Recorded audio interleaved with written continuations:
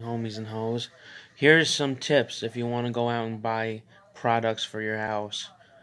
O only open available places is Cumberland Farms, Price Chopper, or places like Price Chopper, like um, ShopRite, Price Chopper. Maybe ShopRite's closed, but Price Chopper, Cumberland Farms, Cumberland Farms, and uh, eh, Burger King and Dunkin' and McDonald's. Dunkin' Donuts is closed too, so.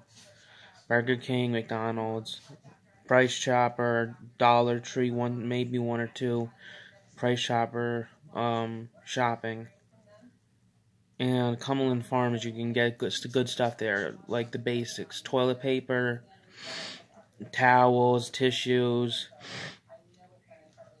cheap little snacks, drinks. You know the good shit. They're one of the few places that's going to be open now that has a good shit. Let's hope this thing dies down in a year or two and they let open places back up. But they probably won't. Government's a suck off, like a leech. Subscribe!